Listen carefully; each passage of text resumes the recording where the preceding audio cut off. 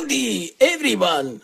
My name is Starfeet Steel and I'm young, healthy, handsome, strong, smart, and exceptionally humble 69 years old dwarf hailing from Ironforge.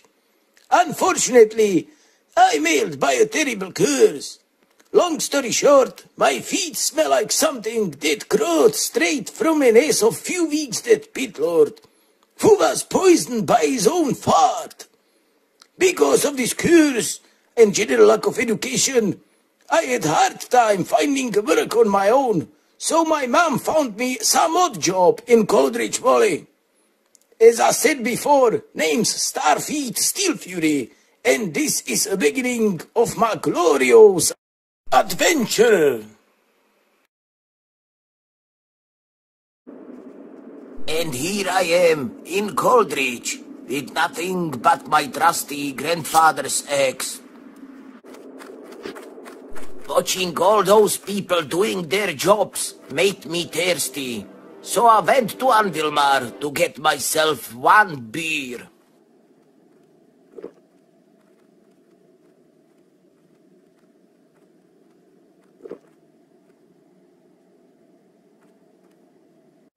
And another one beer.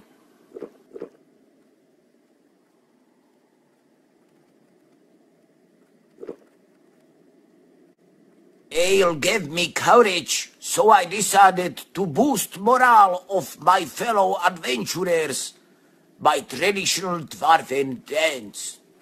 Too late I realized something was terribly wrong.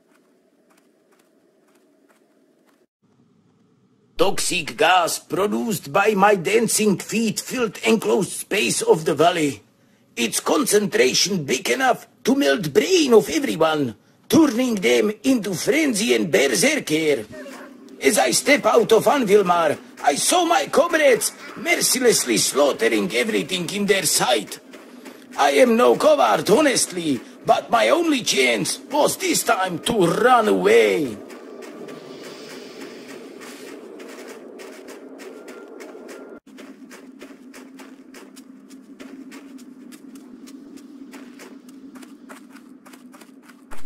As I passed a tunnel infested with trogs and crazy gnomes, I found temporal refugee with the mortar team guys.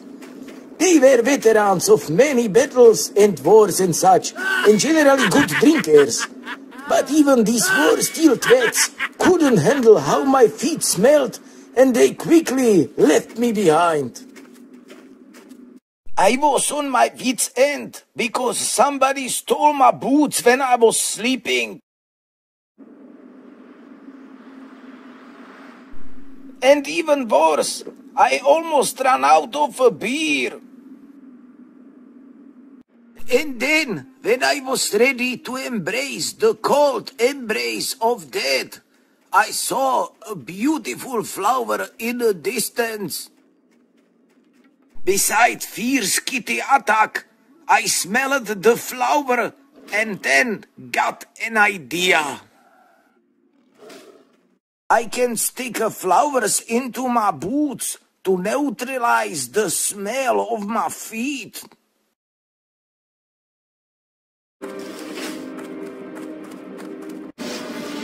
I found my boots, get back to Ironforge, and visited local herbalist. What's on your Thanks mind? to smell of herbs, both girls were temporarily immune to my feet stench. The problem was I had no money for training. So I had to sell everything I had, even my trusty grandfather's. Off with you. Welcome. Back. And so I went outside the city again to get some herbs, hoping for better tomorrows. It was quite cold without any clothes on, and honestly, flower picking wasn't as peaceful job as I thought. As I bravely and but nakedly endured dangers of the wilds, I realized my feet stopped smelling at all. Most likely thanks to absence of any boots on them.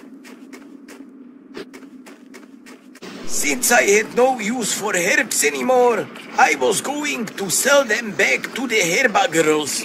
But just outside of their shop, I met a strange looking gnome selling pies. Gnome's name was Sras. Pretty odd one, huh? And he told me about magical properties of flower called Peacebloom. If you eat pie baked with Peacebloom, you get very happy and forgot all your problems. You can also smoke it, but only mages do that. For instance, you can forget about your city being irradiated and infested with drugs. Yeah, it wasn't me this time. I sold all my herbs to Ras, but we were almost caught by Ironforge guard during transaction. To be honest, that guard almost made me empty my bowels. So I took that dirty Peacebloom money and bought tools to do some proper business. I bought skinning knife, mining pick, blacksmithing hammer, and lastly, some weak flux. Watch your back. I also visited a local pub and got myself a beer since I was running low. Innkeeper also told me a bad, bad news. My parents were looking for me. Fantastic! My folks run business named Steel Fury Emporium. This is my dad. He likes beer and gold. And beer. This is my mom. She's a beauty of the forge. Recently, some odd trend came from Stormwind. Dwarf girls started wearing fancy dresses and cute haircuts and start shaving their beards. Disgusting. But not Mama. She's a traditional dwarven female. Her beard wear toilet, wearing trousers, chest like a beer cake clad in armor. I came home and greeted my folks and start talking. What's up, people? Can't you see I'm busy? Son, we hear some disturbing rumor that you run around Ironforge, butt naked, selling Peacebloom. No way. No! I wear shorts! Ha ha! My son won't be a Peacebloom junkie. I don't smoke it, Mom. I'm just selling it to gnomes. Gnomes, you say? Fine with me. No, look at his eyes. He's completely herbalized. What's wrong with my eyes? Eh? Uh, mm, Eh, eh, eh, anyway, Thanks a lot. I'm not herbalized. Starfeet, you are almost 70 years old. It's time to find a proper job and your own place to live.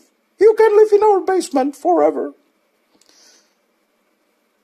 You know, makes me sad. Makes me sad, Mom. Really. Thanks. Everyone in this city lives in a basement. We are under mountain for maker's sake. Thanks a lot. You young men will get dressed and go back to Coldridge. End of discussion.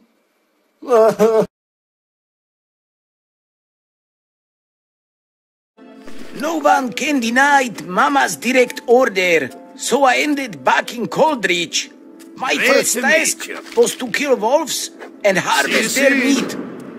But wolves were mostly extinct because of my little feet incident few days ago. After a while, I found one and killed it with my bare hands.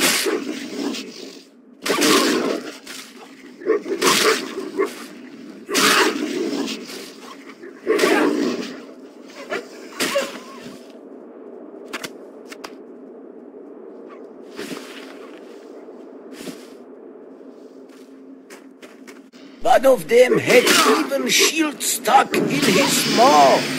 so I started using it. After wolves came trogs, nasty little buggers.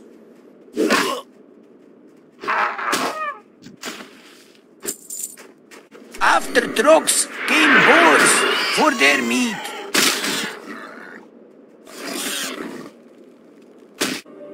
And after boars came trolls. Lot of different blood on my hands. My last job was to kill a big troll inside the cave. But instead of big troll, I met a group of strange people. I asked them what are they doing there. And after a while, one gnome replied that they are making a circle.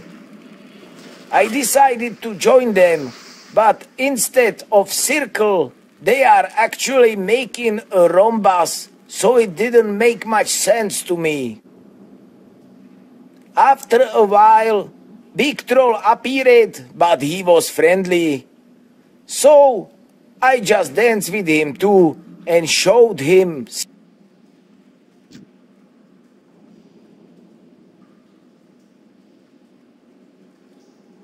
As I was leaving the valley, I noticed my feet started to smell, but I was able to channel that smell into powerful attack.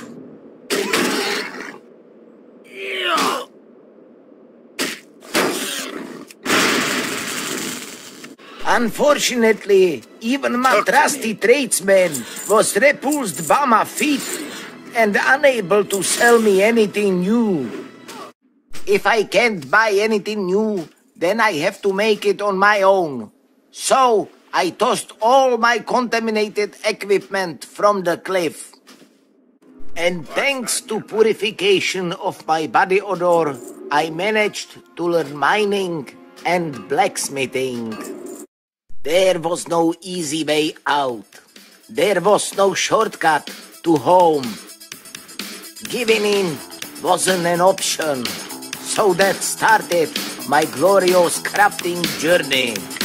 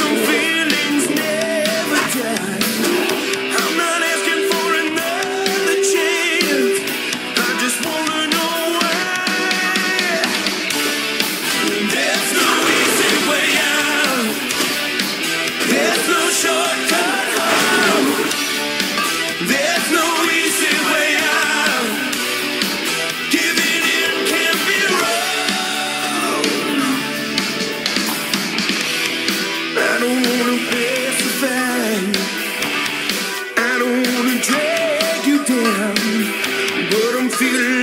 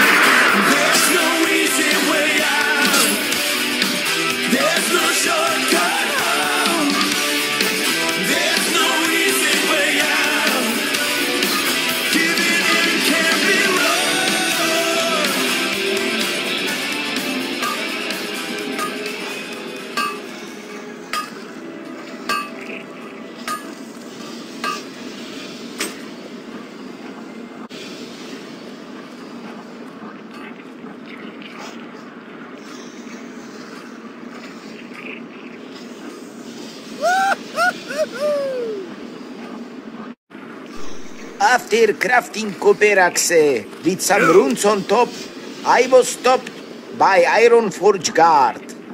And I was very surprised when he told me that His Majesty King Magni Bronzebeard wants to see me.